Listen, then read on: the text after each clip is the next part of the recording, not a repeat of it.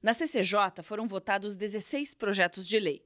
Um deles ficou pendente e foi encaminhado ao autor para sanar vício.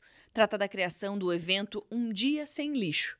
E outros quatro foram aprovados na CCJ e também na Comissão de Finanças, com pedido para votação urgente e urgentíssima, incluindo o que se refere ao adiamento da organização do sistema de estacionamento rotativo Área Azul em Blumenau.